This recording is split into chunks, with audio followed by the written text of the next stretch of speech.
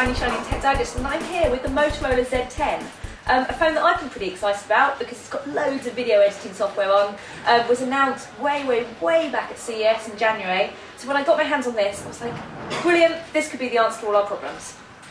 And then, uh, so I got it out of the box, um, and the first thing I thought was, well, that's a pretty masculine looking phone, lots of steel, lots of black, quite chunky. Um, but you know, there's nothing wrong with that. Girls can have chunky phones too. So then I start making my movie because I was going to make something fantastic for you so that you could see all the video editing that you could do on this phone. Put something together, there's lots of audio, there's lots of slides, I was getting very excited. Go to save it, and it crashes. And it loses the video that took me about 20 minutes. So that was a little bit annoying. so I start again.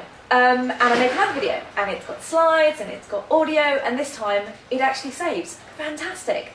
All I need to do now is get it off the phone onto my computer. So I take the CD out, this CD that they sent me, uh, put it in my computer. It's blank. They've sent me a blank CD. So then I go to the Motorola site and I try to download the uh, software that you need to uh, get this because it turns out if you just plug in the USB connector, the driver won't work. So I go to the Motorola site, I download it three times, I try to install it three times, and it doesn't work. So then I found a computer with Bluetooth, and finally we get the video off the off the phone onto the computer using Bluetooth. Um, and here it is.